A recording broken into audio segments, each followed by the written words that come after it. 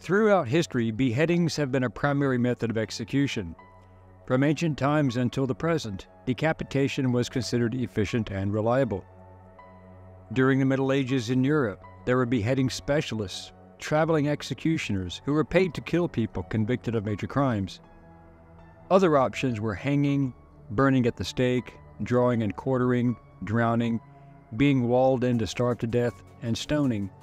But beheading was the most frequently used.